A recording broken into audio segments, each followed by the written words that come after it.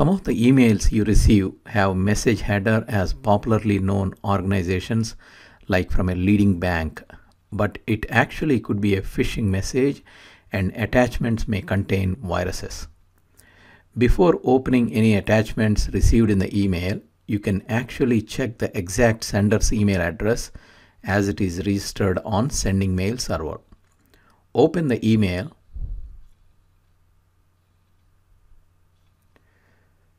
click on file.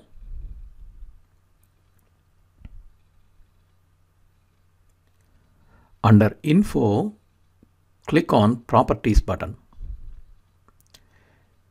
In the internet headers outlook gives the actual sender's email address.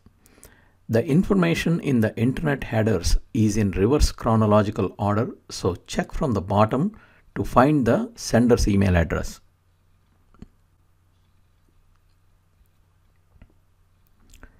If it looks like a foreign email address or some junk email address, you know that it's a phishing message and you can delete the email.